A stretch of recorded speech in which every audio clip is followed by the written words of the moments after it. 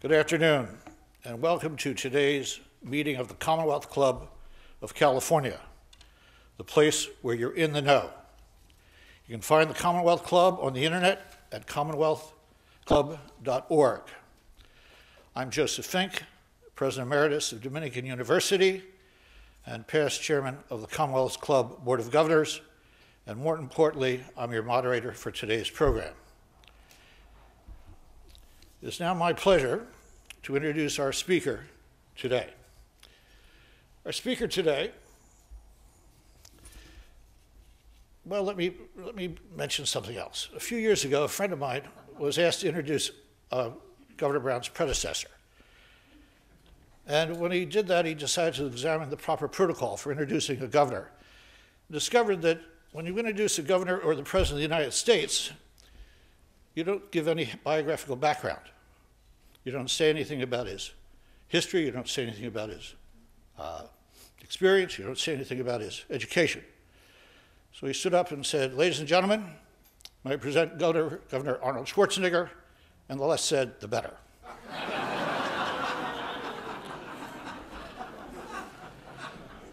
now, I'm not going to make that mistake because the last time I had a substantive time with Governor Brown was when he spoke and was part of a debate against Meg Whitman at the Dominican University campus with Tom Brokaw moderating. And he wiped up the floor with Meg Whitman, stylistically and substantively, and I'd prefer not to happen, have that happen to me uh, today. Instead, I'd like to let you know that I think of Governor Brown as Mr. California. Born in San Francisco, educated in the city, educated at Berkeley, practiced law in LA, was elected Secretary of State in 1970, served two terms as governor in the 70s, was later the, in the late 80s the chairman of the De Democratic Party in the state, in the late 90s he was elected mayor of Oakland, uh, then after that elected attorney general, and is now serving his third term as governor. Take all of that, mix it in with a few years in the seminary, a law degree from Yale, studying in Mexico and Japan and China and India, and running for the presidency in 1992. And then add an illustrious father, and you have a Renaissance man who is really Mr. California. Please join me in welcoming the governor of California, who will be speaking to us about Proposition 30, Jerry Brown.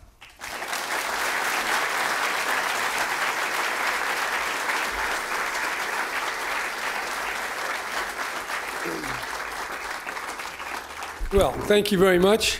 And since I'm in San Francisco, I will mention two other items on my resume. In fact, three. I started schooling at the West Portal Grammar School in Forest Hill. I then transferred over to St. Brendan's for the opening class in 1947, and then, then I went on to St. Ignatius. So there's where I got my foundation. The rest was just filling in the details. If you've had the Dominican nuns or the Jesuits in the pre Vatican era, you know what I'm talking about. so, when I did come back uh, as governor 27 years after I left, I promised three things.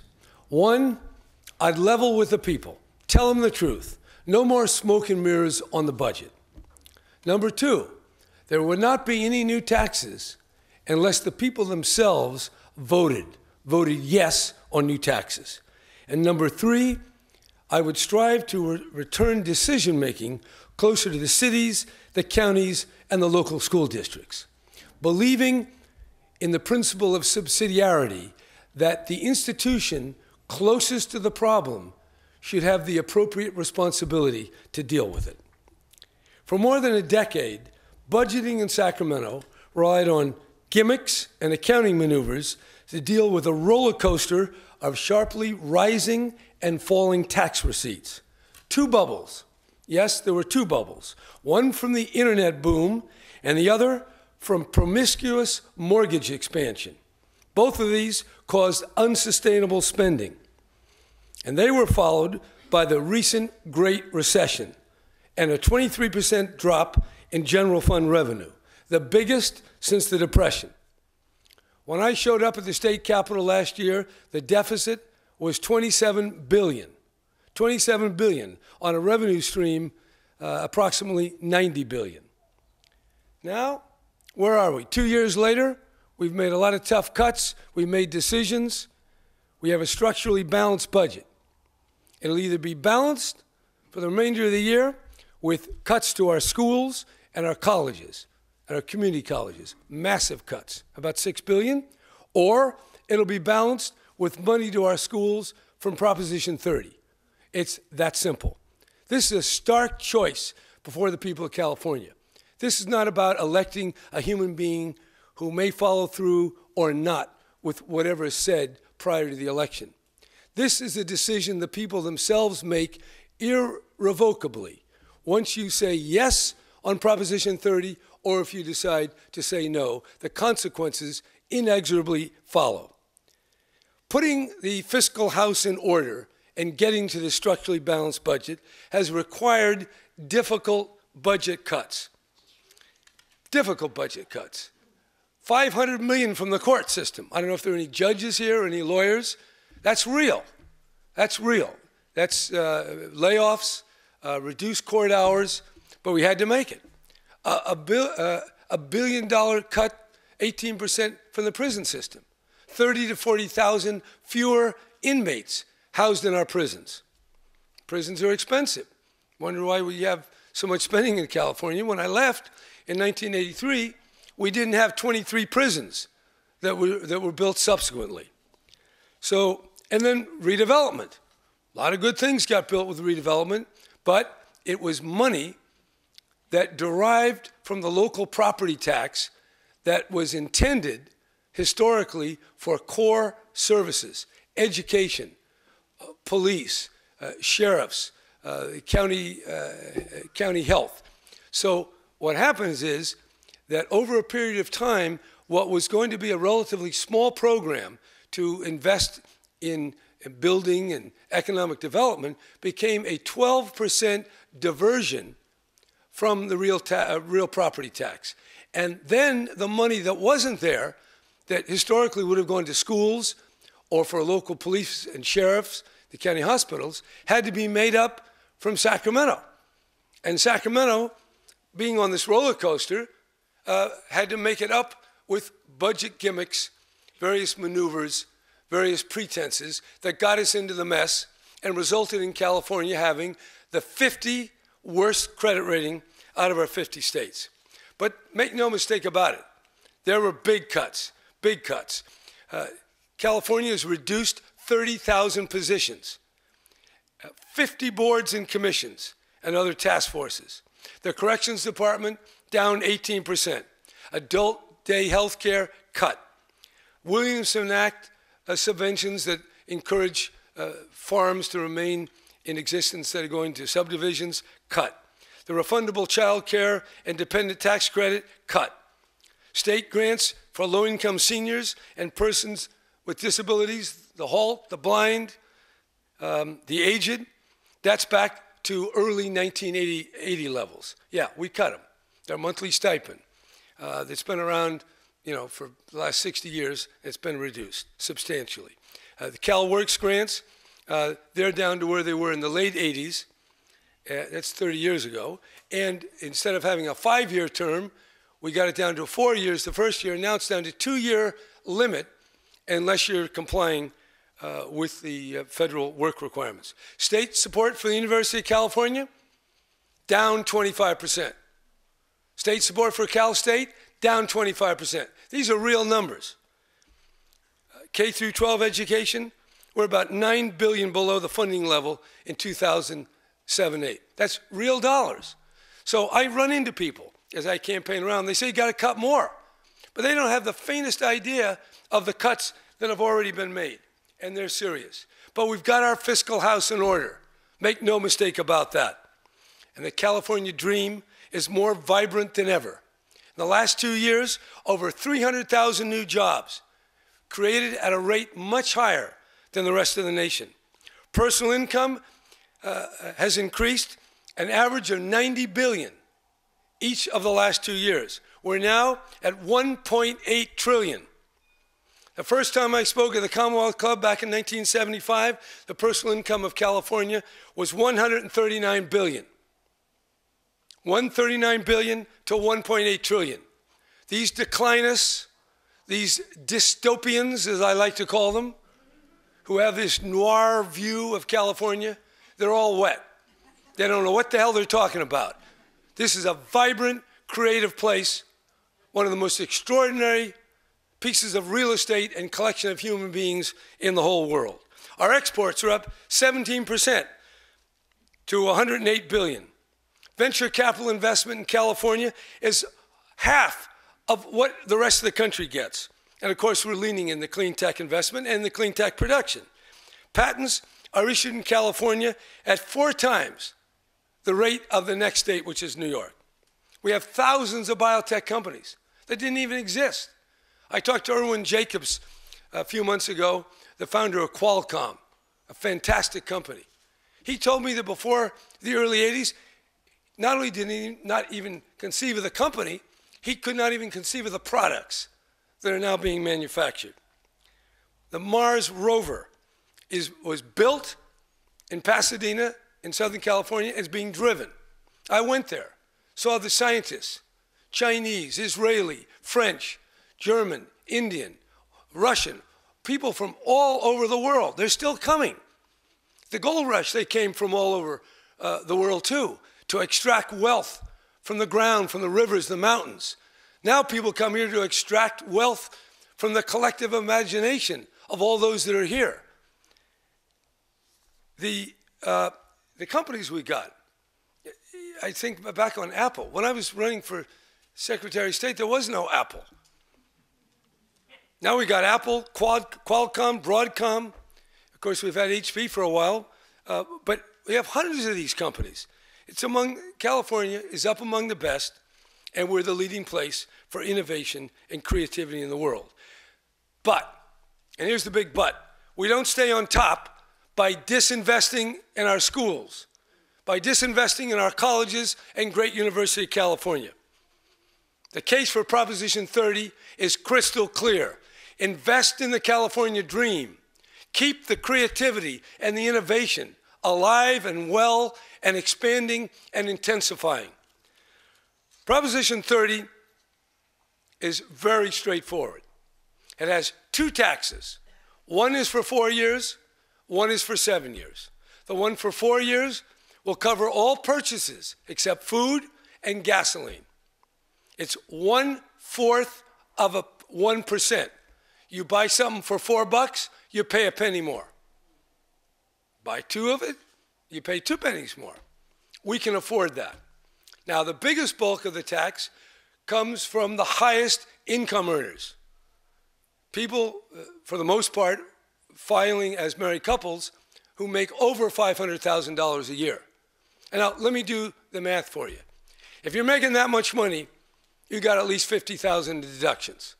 So let's say you make 600,000. You deduct 50,000, you got 550. You pay tax under Proposition 30 on the 50,000. That's 1%. That's 500 bucks. And then you deduct it on your federal, you're talking 350 bucks. That's what we're asking people. Now you make a million, you pay more, 7,500 bucks, and on it goes.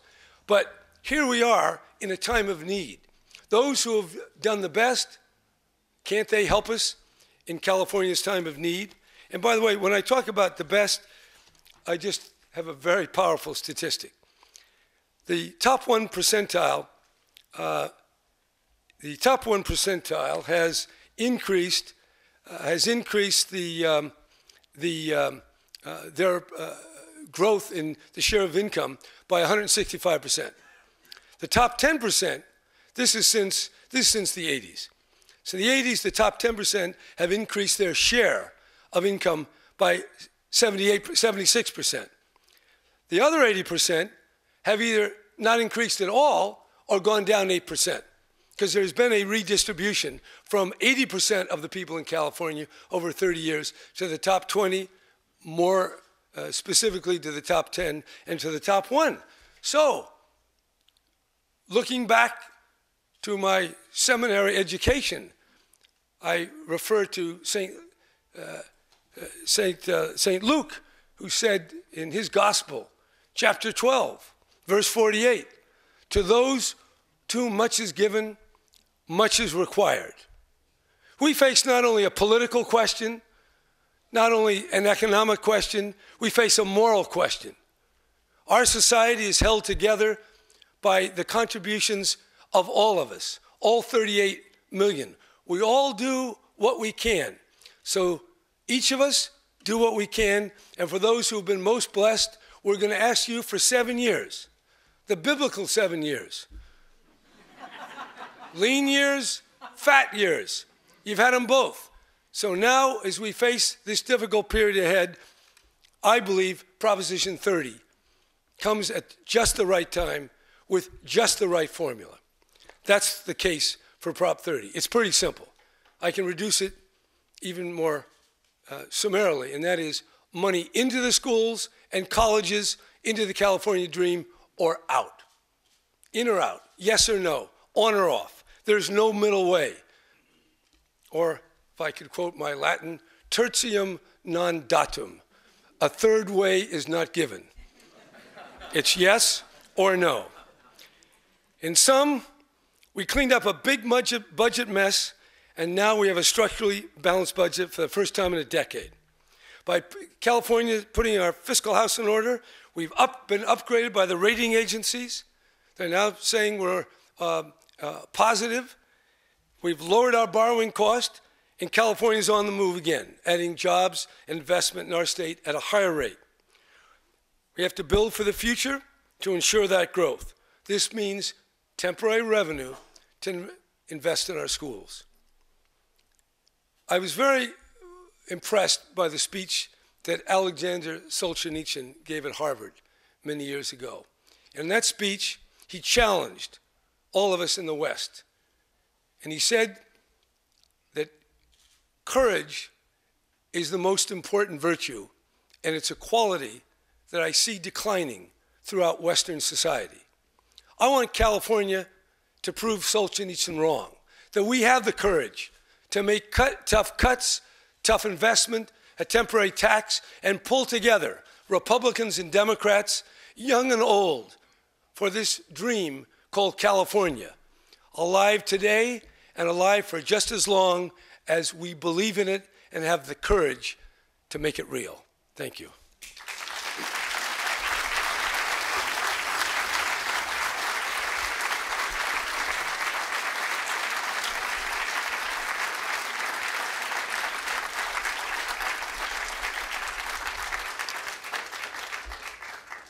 Our thanks to California Governor Jerry Brown. Governor Brown, we have a large number of questions for you. Um, many of them are uh, uh, serious questions about uh, Proposition 30. Let me ask you the uh, paraphrase and bring some of them together, but one of them has to do with the fact that um, don't you really believe that once this occurs, once the Proposition 30 passes, that a large number of uh, the more wealthy people in this state will no longer be Californians? No, not at all. There's no empirical evidence to suggest that higher income people will move out of the state. There's a very careful study done when New Jersey raised its rates in comparison with New York, and very easy to move from that state to New York. And no empirical evidence demonstrates that. That is a canard. All right.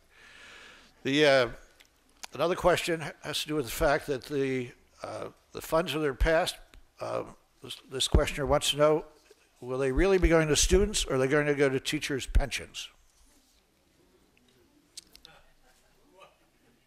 They're going to go to the schools and the school districts so they can make the best decisions they can to finance our grossly underfunded public schools. That's what it is. And pensions is, is a piece of our challenge, just like all these other things, like our courts, like our mentally ill, like the uh, disabled, uh, like the uh, criminals, like juvenile delinquents. We got a lot of issues. Okay, and pensions is one of them.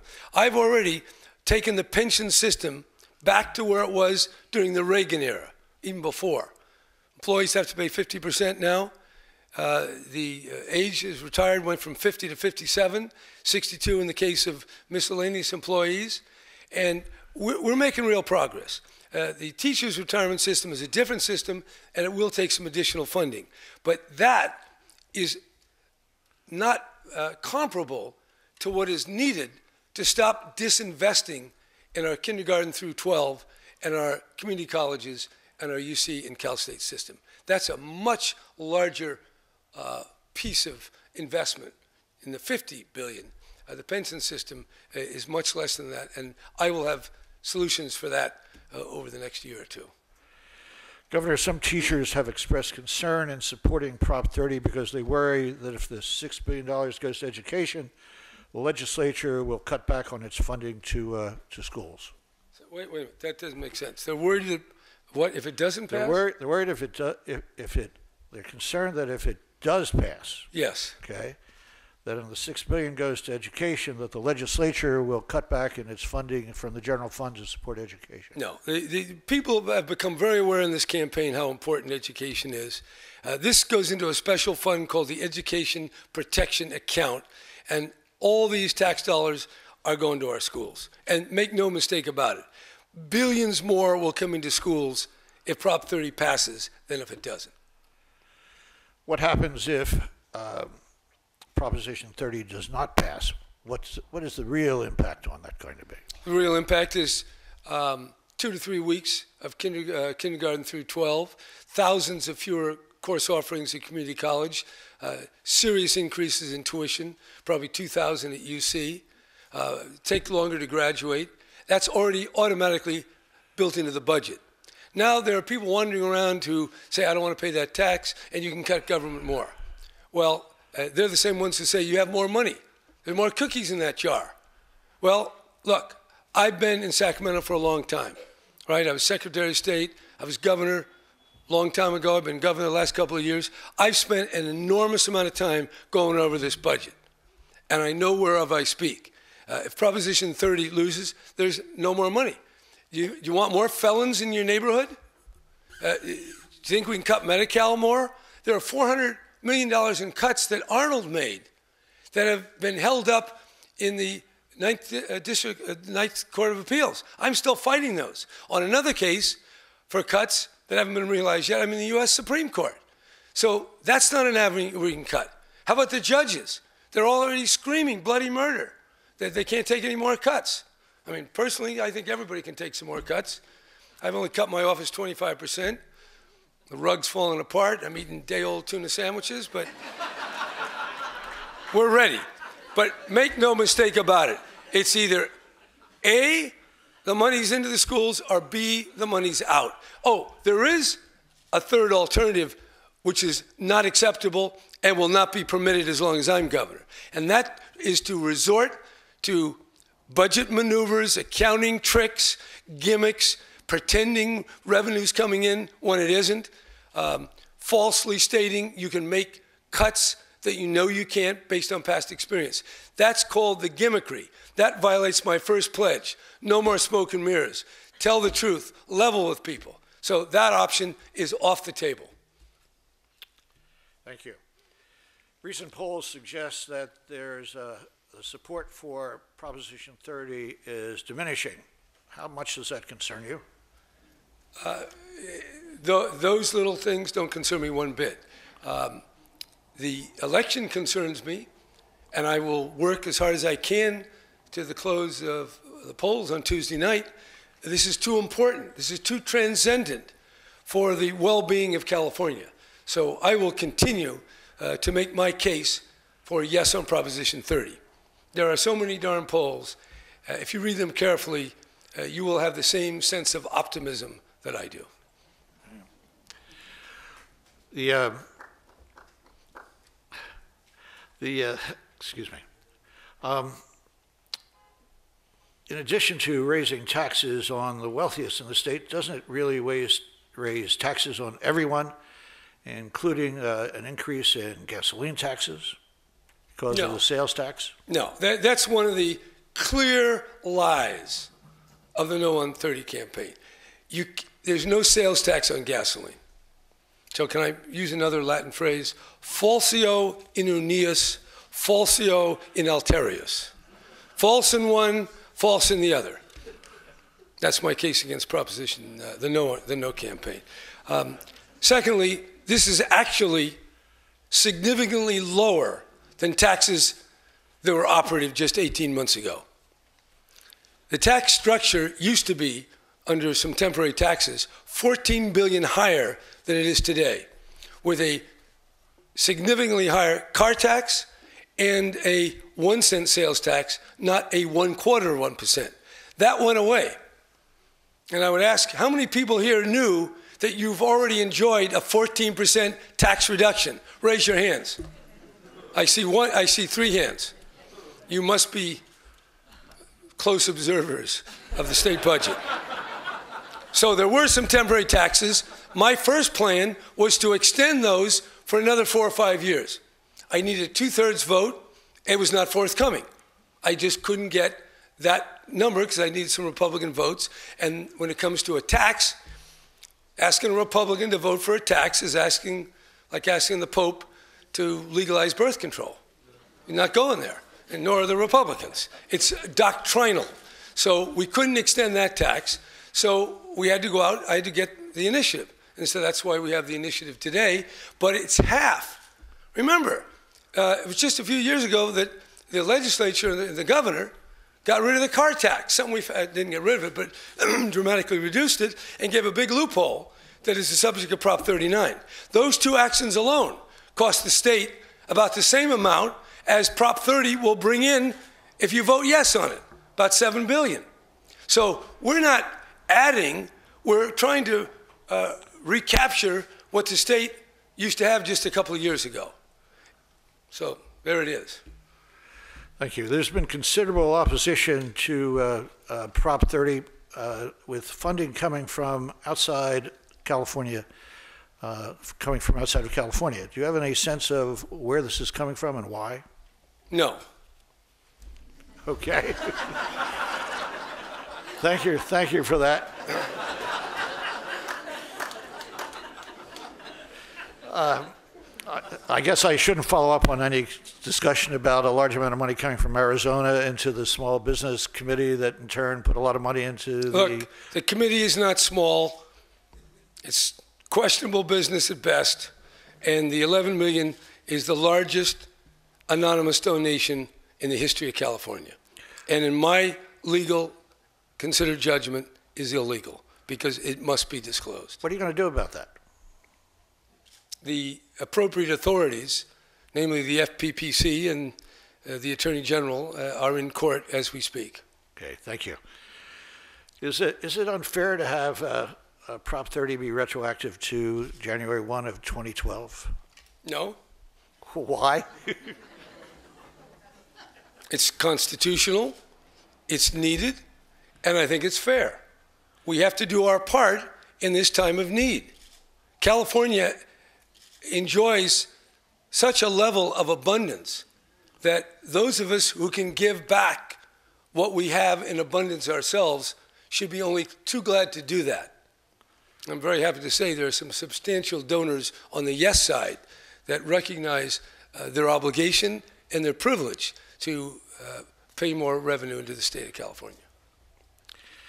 If Prop 30 is enacted, what safety measures will be placed in, in order to make sure that there, there's good use and stewardship of the funds? The education protection account, it's right in the ballot pamphlet. All the money has to go to the schools, the community colleges, and that will be audited and made public. Uh, you also mentioned public safety, and I want to um, take off from that term and mention the other aspect of Proposition 30, which is a separate constitutional amendment that guarantees the funding that the state transferred from state uh, funded programs to locally funded programs. Remember, I said my third pledge was to bring government closer to the people. We've done that. It's called realignment. Public safety, mental health, uh, sheriffs, rehab, uh, drug treatment, uh, probation services, these are expensive, in the billions. Last year, I, I signed a bill to uh, move those functions and the money down. That's a statute. It could be changed. And because it could be changed, uh, some of the local governments are hesitating to make the investment in uh, drug treatment programs or personnel that are needed to make uh, realignment uh, realize all the potential that it has. So by putting in a constitutional amendment as a second feature of Proposition 30, we guarantee that funding. That funding, by the way, is not anything to do with the tax from Prop 30. This is existing revenues that we've already devoted to local government for public safety. We just make sure that the legislature cannot reverse it. Thank you. For those of you who are listening on the radio, this is the Commonwealth Club of California, and our guest today is Governor Jerry Brown, who is speaking about his advocacy for Proposition 30 on the California ballot. Governor, this, uh, this question comes from someone in the audience who is opposing uh, Prop 30 because, in his or her view, it means tossing more money into a failed system. Why didn't you dedicate your time and effort to reform the system? I am reforming the system. It's called realignment. Called welfare reform. It's called collapsing uh, various agencies. It's called uh, uh, putting some greater supervision over the court system. We have made substantial efforts at reform. It's called workers' compensation reform, a terrific reform that won the support of the Farm Bureau, the Chamber of Commerce, the AFL-CIO, the Teamsters, and a broad range of interests from the left to the right. It's also uh, called, well, it's realignment and it's workers' compensation. Those are all uh, very significant reforms. And when they talk about a failed system, remember, $90 billion on average the last two years added to the wealth of California. We have a fabulous state that we live in. Look all around the world, wherever you want to look. Look east, look west. And you're here in, in such a special place. And I know there's this meme. I have to use another term. M E M E meme. Go to Google if you don't know what it means. these ideas, these fixed thoughts are circulating around about the failed system. You'll find it in some of these dystopian publications about a failed state. A failed state doesn't generate 300,000 new jobs. A failed state doesn't provide the home for Google and Qualcomm and Apple and all these other, uh, and, the, all the new internet companies uh, coming along. Uh, a failed state doesn't get more patents than any other state, almost virtually more than the whole country combined. It, it, it doesn't get all the venture capital. There's more creative people in California than anywhere else in the world, and there's more finance capital to back up their great ideas. Government's not perfect. We got plenty of flaws. I know that. I was in a seminary for four years and I studied my flaws for endlessly. And at the end of that period, I still had a hell of a lot of flaws.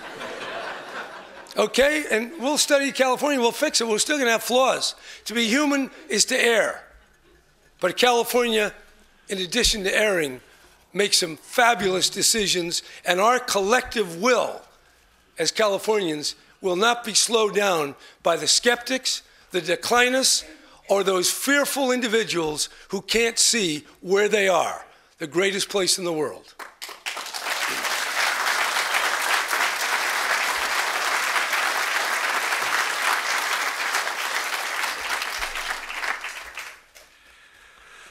What's your, uh, what's your view about Prop 38? I'll leave that one to the voters. okay. Uh, isn't Prop 38 uh, more fair because it increases taxes on everyone and asks everyone to share a common burden for the state to improve its educational system? Uh, given what has occurred over the last 30 years, no. I believe Proposition 30 is a fair distribution of the temporary tax burden. All right. Um, can you tell us about any conversations you had with Molly Munger regarding Prop 30 and Prop 38? No, I like to retain a certain level of confidentiality so that if you call me, you don't have to worry that you'll have to hear about it on the radio.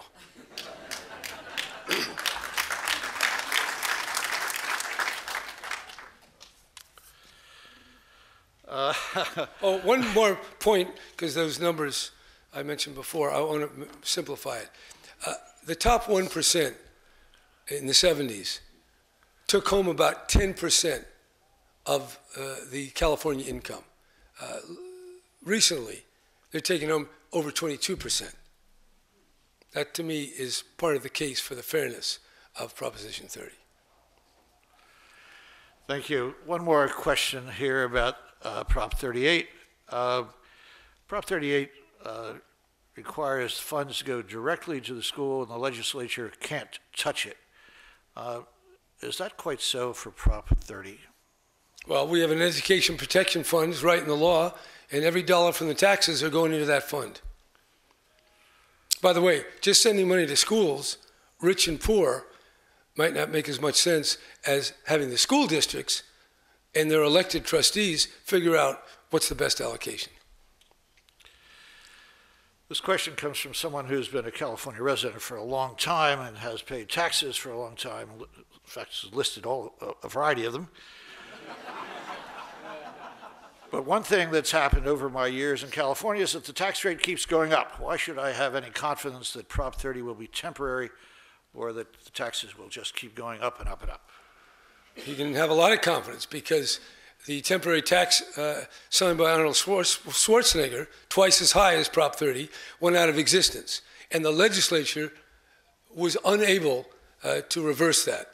It took an initiative sponsored by myself, and then it will depend on the vote of the people. So the people in California are in charge. All right. This questioner uh, is concerned that they, they appear to be being bullied and blackmailed into supporting Prop 30 because of the trigger cuts that would occur, but does not believe the trigger cuts are mandated. They're not automatic, and the legislature can choose other options if Prop 30 fails. Uh, They are automatic. That's another piece of total misinformation um, among the various other mistaken notions. The cuts are in the budget, the law of California. They cannot be changed unless the legislature wants to reverse it and the governor signs the bill, and I won't sign the bill. So they are, you can take that to the bank. It's there, and that's number one. Number two, there isn't any more money. How f- much further can we go in reducing our prisons? How much more can we empty our courts? How much more can we fight through the federal courts to try to cut Medi-Cal? There's no more redevelopment to cut. So the truth is, and I've looked at it, I'm not a guy who just showed up in Sacramento last week. I devoted virtually my whole life to various governing structures in California. I'm telling you, the money's not there unless Proposition 30 makes it there. That's, and you might say, well, why? Why were taxes lower? Well, I'll give you two reasons. When I was governor the first time, the prison system cost 3% of the general fund. Two years ago, before I was governor, it went to 11.5%. 11.5%, you figure that out on a $90 billion budget. It's more than the taxes I'm asking for. Number two, Medi-Cal spending, aging population. Guess what? We're getting older. A lot of people become infirm. They got to be taken care of. Medi-Cal spending has risen. You take Medi-Cal, aging of our population, you take the number of people in prison, and that'll just about equal the difference in taxation today uh, from what it was 30 years ago. We're starting to wander out of direct questions concerning Prop 30, but there are several related ones. In the face of the severe cuts to education funding, how do you rationalize the commitment to the billions going to a high-speed rail system?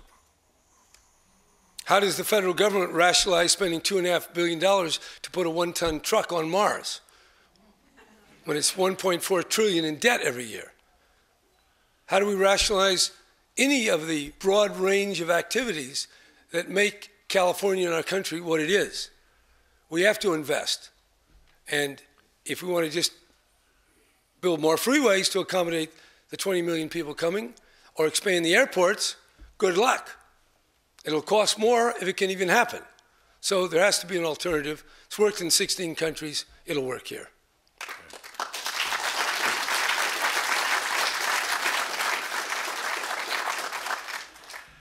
What are the chances for meaningful prison reform, especially in light of the strength of the prison, prison uh, workers' unions? Uh, prison, the correctional officers have been very uh, vital players in helping us uh, bring our budget into line. Uh, that's number one. Number two, we've had significant uh, prison reform uh, through the realignment process. The non so-called, I'm going to say so-called, the less serious, the nonviolent, and other categories that we feel are appropriate for local supervision have been transferred uh, to the local level, and that's part of why Prop 30 has a constitutional provision to protect, protect the funding to make it work. So we've had significant uh, prison and correctional reform. Should we go further? Yes. And that will certainly be on my agenda in the coming years. There have been a variety of cuts to California's public higher education system over the past several years, but it's still a relatively cheap system of higher education for students. Shouldn't we expect our students to provide more in the way of tuition? No. And I'll tell you why. Uh, student debt now is growing faster than mortgage debt and credit card debt. It's about a trillion dollars. We have uh, grandparents who co signed on their children, and now they're uh, stressed, many of them.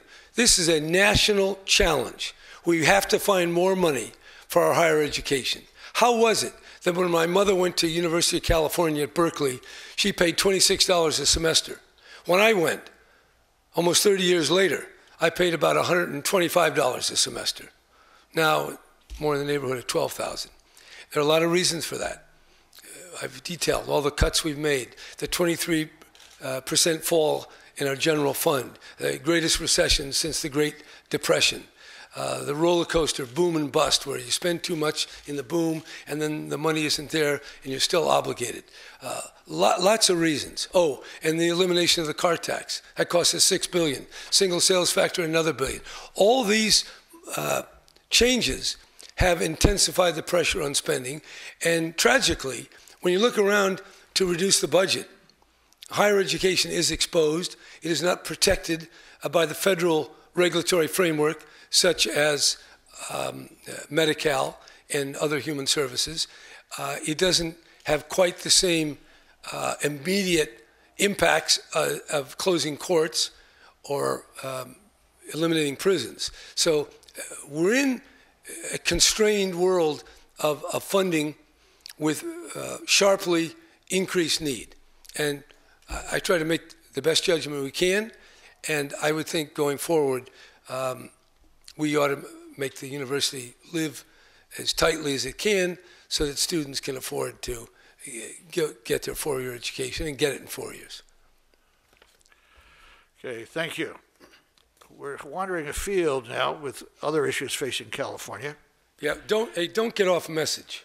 Okay, well, I'd like to, but but your short, quick answers are uh, answering just about every question that's come come forward. Would you like to add anything to the message? No. Oh, okay, thanks. Thanks for the help. Look, Proposition 30 is money into the schools and colleges or money out. It's fair, it's moral, it represents the best in our California tradition, and it is critical to maintaining the California dream. Okay.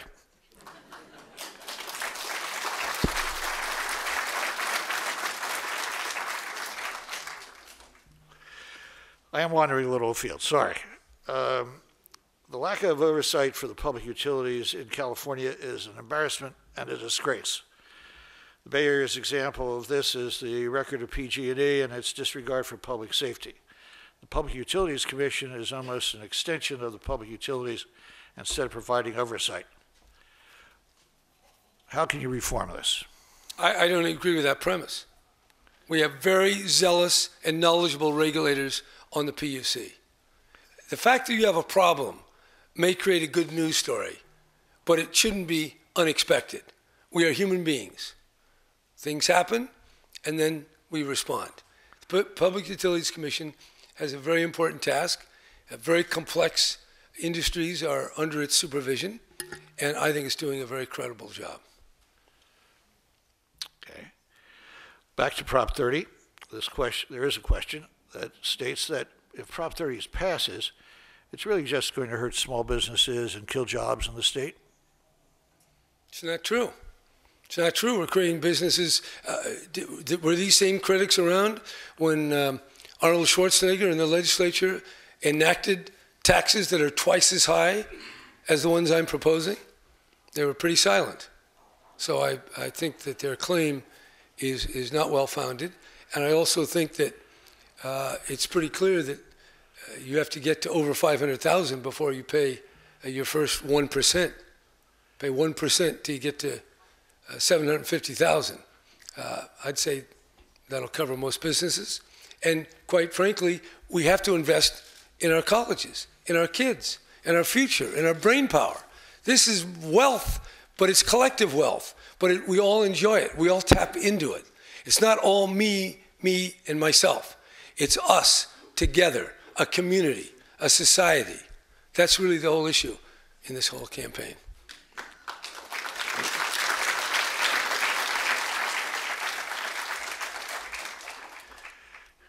For those of you in the radio audience, you're listening to the Commonwealth Club of California, and our guest today is California Governor Jerry Brown, who is speaking about his advocacy for Proposition 30 on the California ballot.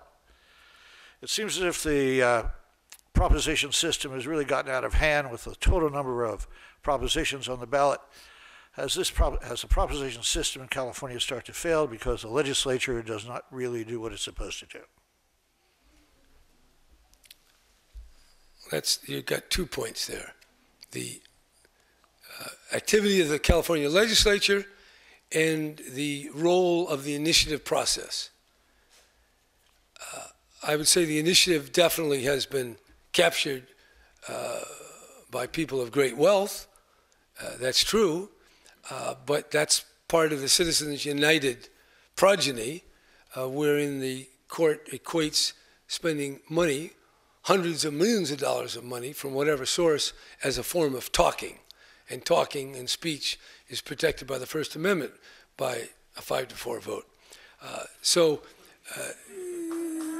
that's in the structure of, of things.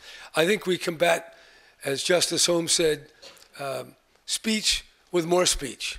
So that's what we're going to have to do. We're going to have to have more speech. And when you have a ballot measure, uh, thank God uh, for the fact that we have uh, individuals who step up to the plate, and we have organization called unions who collect dues and can counterbalance the enormous power and money on the other side. Second point you want to know about the legislature. The legislature uh, hasn't enjoyed, you know, widespread popular support. you laugh. But the legislature, in many ways, reflects the diversity of California. When things were localized, when the folks in Modoc County got to shape their own destiny, they pretty well figured out how to agree. Same is true of San Francisco or Berkeley or Orange County. When you centralize things, uh, decision making, flow of money, as occurred after Proposition 13, uh, you bring everybody together to make common decisions for the state. Like it or not, Modocians think differently than San Franciscans.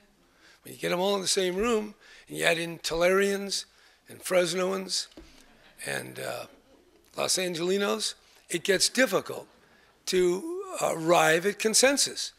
But don't look just at the California legislature, look to the Congress. They're having a hard time agreeing. There is a certain regime crisis facing not only America, but I even extend it uh, to Europe. How do we find uh, the common pathway when people are so, so deeply divided. And we say they're divided, people are seeing different realities. People say, you haven't cut enough. We don't like those taxes because it'll drive business away. Uh, other people say, no, we need more money. We need even more tax money into our universities. Very different uh, perspectives. By the way, I have to say, back in 1980, there was a business executive who said, because of my policies as governor, California would stop growing. 139 to 1.8 trillion sounds pretty good growth to me. Most people in the world would be envious to have an opportunity to benefit from that. So The legislature reflects the divisions. It is a struggle. There are lobbyists. Uh, people are worried about what will happen to their business or their identity, the things they believe in. So they're all up there. That's democracy. It can be messy at times. Go back and read what Adams said about Jefferson. Read what, how, how Aaron Burr treated Hamilton. I mean, it was rough. Um, at least we don't have duels anymore. So, look, don't give up on democracy because at the heart of democracy is the political process. We have a representative government. So you have to send people who to represent you. But they don't up there they don't represent just you. They have all these different points of view up there, and so that's why you get this uh, this um, strange sausage called legislation. That's why they say don't try to probe into too deeply how it's made. But somehow it's worked. It's worked for a long time. I mean, we've come a long way. Believe me, the first governor of California, Peter Burnett, in his second State of the State speech, called for the extermination of the native peoples. Yes, he did. And the legislature promptly passed a bond issue to pay for their scalps. We've made some progress. I mean, I, I like to draw that demarcation. I mean, Barnett to Brown. I mean, you know, it's, that's progress. Burnett, actually. A large amount of money was discovered tucked away in a special account for the California State Parks Commission. Could there be another 40 or 50 million dollars tucked away someplace else in some other department that could help ease this crisis?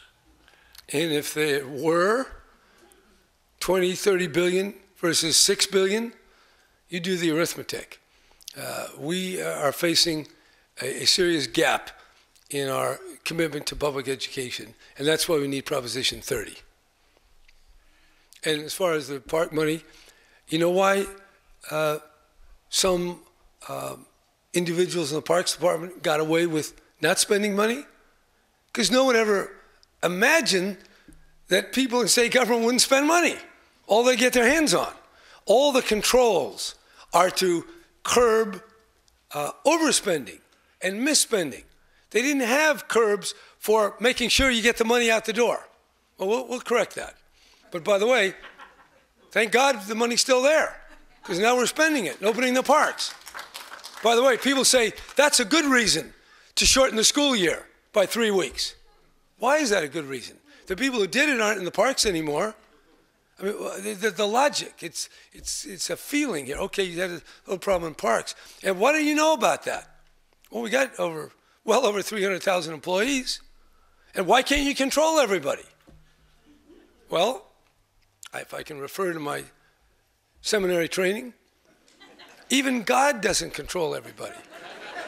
There's something called freedom of the will, and you can actually sin. Well, if God can't control you, how the hell can I?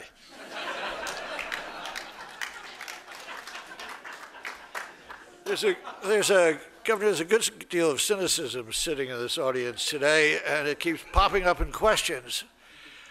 Let me read this one to you. Um, the people supporting Prop 30 are the politicians who continue to spend more money than the state has. Prop 30 rewards this dangerous behavior by giving them billions of dollars more to spend with no reforms and no guarantees the money won't be wasted or that it will really get into the classrooms. Well, there's another ill, um, Ill, what shall I say? I'll choose my words, ill conceived or ill thought out. Um, there has been reforms. Uh, money, I think, is increasingly being spent well. Wherever you can find a cut, I'll make it. I'm not a big spender. I don't like to spend. You know, I was born in 1938. We had rationing during World War II. You know, my mother bought a leg of lamb. It lasts four days, five days maybe. I mean, I, I'm not into spending. I'll spend what I need. If it can invent something wonderful and beautiful and be part of our, our future, schools or education or uh, some form of transportation or alternative energy or reliable water, sure, planting trees, uh, yeah, I want all that stuff. But uh, waste and doing stupid things, wherever I can ferret it out, I will. So I think, and by the way, this term of opprobrium called politician. Um, now, I'm not going to give a defense of politicians. I'm not that stupid. Um, but I will say, uh, the word politician comes from politeia, which means the, the polis, the community, um, the city state uh, in ancient Greece. Uh, the politician, unfortunately, has the work of trying to mesh all these totally discordant, contradictory opinions and identities, and they clash. And that's why sometimes people get a little tired of democracy and representative democracy because it is strenuous. And it does take sustained courage to keep at it, even when you see things you don't like or you get disappointed. Now, if I were going to be cynical or get disappointed, I would have checked out a long time ago. But I've come back. I've come back when I could be doing other things because I really believe in California.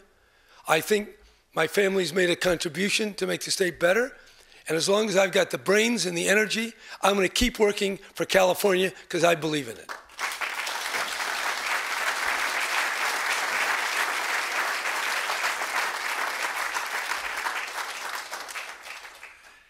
As we speak, I keep getting more questions coming from the audience, adding to this hundred or so that are here. One of them, uh, uh, though, they keep uh, this question keeps harking back to uh, an issue you, you uh, touched on before, but I think you probably should review it again. The Wall Street Journal identified a flaw that the governor of this of California is trying to sell his tax hike to voters this November by saying it will go to the schools. The dirty little secret is that the new revenue is needed to backfill the insolvent teachers' pension fund. Uh, that's not true. As a matter of fact, we're not paying the teachers' pension fund, except by the statutory amount that hasn't changed in a number of years. So that's part of the uh, dystopian thinking that government is all about pensions. Government is about a lot of things. And we uh, align things based on our best lights. When pensions were increased under the famous SB 400 that uh, became unsustainable, almost no Republican voted no In fact, they all voted, almost all of them voted yes. That was the thought at the time. Because the boom, the mortgage, money, the housing, the construction, all that. Then it collapsed. We didn't have the money. Oh, uh-oh, now the pensions don't look sustainable. So we correct, and we're correcting now. We have cities correcting. San Jose, San Diego, Stockton, other, other uh, local uh, jurisdictions. They're struggling in their own way to right the ship of, of state as they see it in their local community, and uh, we, will, we will evolve. This, it's very easy for people to sit on the side and point, say, oh, there's, there's something wrong there. There's a flaw. Well, yeah, there are always going to be flaws because we're human. But as we see the problems, we correct. And I have examined uh, some of the commentary from that particular journal journalistic source, and I'm not impressed uh, by their uh, accuracy uh, or by their uh, optimism. Uh, it seems a little bit um, narrow as the way they view things. In the midst of this, I found one question that made me smile. Um, this person states that uh, Lieutenant Governor Gavin Newsom says that you waited too long to campaign for this proposition. Since he has nothing to do, why haven't you asked him to go out on the stump more?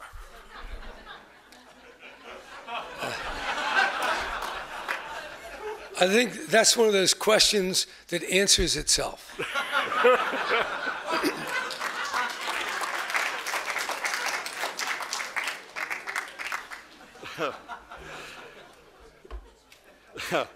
Excuse me. Uh,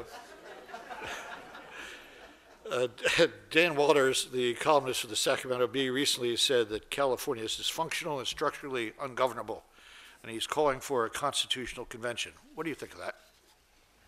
Well, if things are so dysfunctional, what makes him think that a constitutional convention would be any different? Would any Californians be invited? and would they represent any of the interests that are now represented in Sacramento?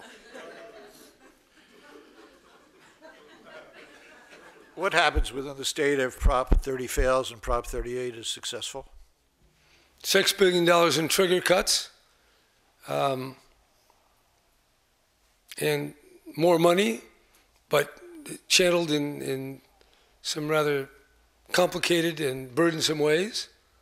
And of course, the legislature would figure out probably how to deal with it. But I don't recommend it because I'm here to make the case for Proposition 30. And to me, it's clear and persuasive. Okay, thank you.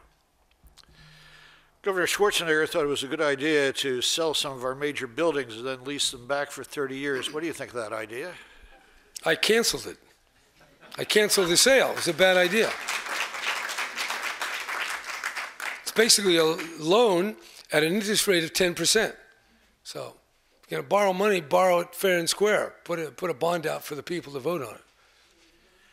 All right, thank you, Governor.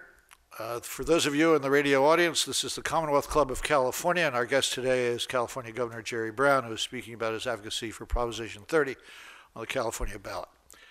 Governor Brown, we have time for only a couple of more questions, but before I ask those, I'd like to ask you if you'd like to make any major summation about Prop 30 one more time. When I was elected, I found a budget mess. We've cleaned up that budget mess. We have a structurally balanced budget. We're going to do it with either cuts or we're going to do it with money into the schools from Proposition 30. We can afford it. In fact, we can afford no less. Because what's at stake is our future, the kids, the university, the life of the mind, the leading edge companies that California represents. It, to me, I've studied a lot. Proposition 30 is the right response for the problems we now face today. Thank you. We have uh, time for uh, just two more questions. Um, when you were running for reelection, uh, you were occasionally asked whether or not you were using this run for the gubernatorial position as a stepping stone to something larger, perhaps a presidential rate. And to paraphrase your response, you quite often said that if you look at the actuarial tables and what will happen after I've served eight years as governor, probably I won't be in a condition to run for president. However, after you examine the age and condition of some of our United States senators, would you not consider a run for the Senate? I don't think so. Okay. I don't mind flying on Southwest, but there's longer flights every couple of weeks. Last, Besides that, I don't think we need to speculate on what's going to happen down the road here. We have a lot on our plate right now, and that I can respond to. But for the future, uh, you'll just have to guess. I have run for a lot of offices. last question. I blame my father for that. He, I didn't realize it, but I was born in 1938. My father ran for district attorney in 1938 and lost. He then ran again in 1943 and he won. I was in kindergarten at the time. Then two years later, he ran for attorney general and lost. And then he ran for re-election as DA and won. And then a year, then two years later, he ran for attorney general and won. And then in 1952, he ran as the favorite son of the presidential ticket. And then he ran for um, uh, re-election as Attorney General in 54. And then in 58, he ran for governor.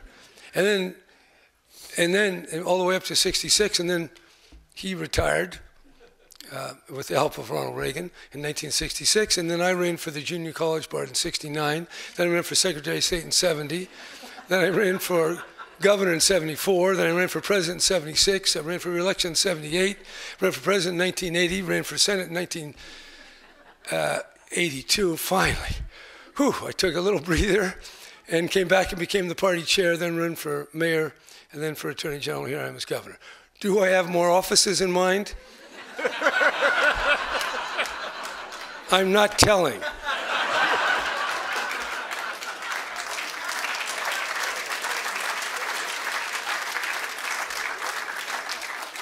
I think we'll, uh, I think we'll leave it to that. Uh, our thanks to California Governor Jerry Brown. We also thank our audiences here and on the radio, television, and the internet. Uh, We also want to remind everyone in the room to please remain seated until Governor Brown has left the room. I'm Joseph Fink, the President Emeritus of Dominican University, and now this meeting of the Commonwealth Club of California, the place where you're in the know, is adjourned.